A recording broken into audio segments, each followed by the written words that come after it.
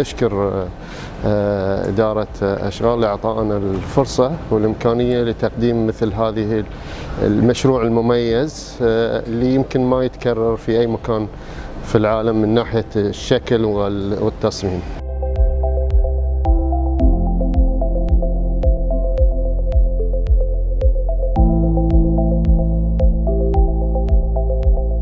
نشكر أشغال لأنها الداعم الرئيسي حق الصناعات المحلية وأكيد هاي كلها رؤية 2030 والدعم اللي لقيناه من أشغال جدا قوي خصوصا المشروع بالنسبة حق ال street lighting كل ال lighting اللي بتركب في الشوارع هذه تصنيع بتكون في قطر 100%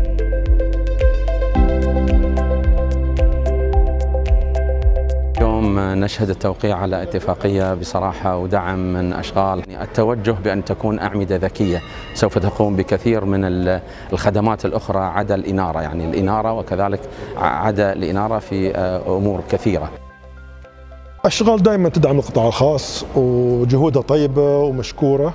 وإحنا بالنسبة لالتزامنا مع أشغال من ناحية الجودة ومن ناحية التوصيل وانتهاء المشروع قبل إن شاء الله 2022